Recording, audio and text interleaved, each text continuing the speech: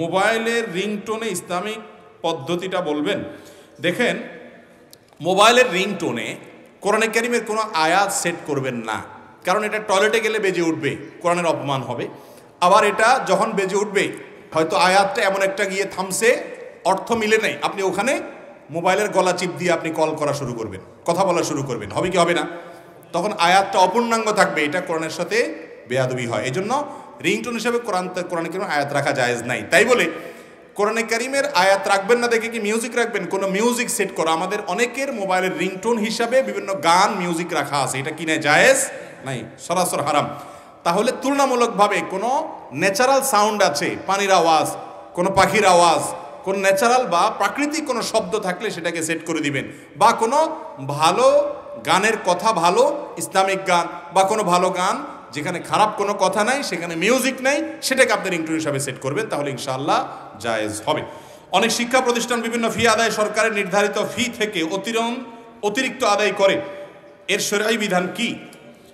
কোনো প্রতিষ্ঠান এটা যদি নির্ধারিত ফির বাইরে অতিরিক্ত ফি আদায় করে এবং সেটা যদি টিচাররা নিজেরা ভাগযোগ করে নেয়। দুর্নীতির অংশ হিসাবে করে, তাহলে সে ফি নেওয়াটা গুণা এবং সে ফির ভাগ নেওয়াটাও অন্য টিচারদের জন্য হারাম, এটা জায়েজ নাই।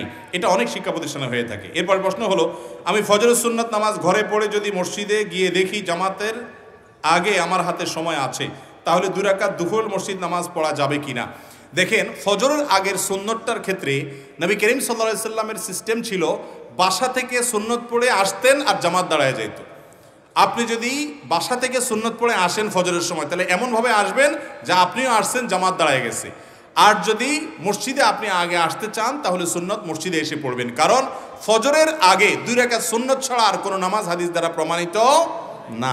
যার কারণে ওইভাবে আসবেন যে আপনি সুন্নত পড়ে আসছেন, এদিকে জামাতের টাইম হয়ে গেছে। হয়তো কয়েক সেকেন্ড বাকি আছে, আপনি অপেক্ষা করবেন, তারপর জামাতে সামিল হবেন। এরপরে প্রশ্ন হলো আমাদের দেশে দেখি ফজরের আজান পঁয়তাল্লিশ মিনিট বা এক ঘণ্টা ধরে চলতে থাকে। বিভিন্ন মসজিদে ভিন্ন ভিন্ন সময় আজান দেয়। এটা কোরআন হাদিসে সঠিক কিনা? এই কারণে দেখা যায়, অনেক সময় যাহারা নফল রোজা রাখে এবং তাহাজুদের নামাজ পড়ে, তাদের অনেক সমস্যায় পড়তে হয়। এটা ঠিকই বলেছেন। খুবই দুঃখজনক অধ্যায়। এক ঘণ্টা ধরে আজান হতে থাকে। কোনো মসজিদের মোয়াজ্জেন, তিনি হয়তো এতটা বাজে আজান দিয়েছেন, আরেক মোয়াজ্জেন আরও বিশ মিনিট পরে দিলেন, আরেকজন আরও তিরিশ মিনিট পরে দিলেন। এটা না। ফজরের ওয়াক্ত হওয়ার পর একটা নির্দিষ্ট সময়ের ভিতরে আজান হওয়া উচিত। বিশেষ করে ফজরের আজানের সাথে মানুষের সাহারি খাওয়া এবং তাহাজুদ পড়া অনেক কিছু সম্পর্ক আছে। এই জন্য এই আজানটা অত্যন্ত টাইমলি দেওয়ার চেষ্টা করা উচিত এবং মহাজেনদের এদিকটা দিকটা লক্ষ্য করা উচিত। এটা করা হয় না।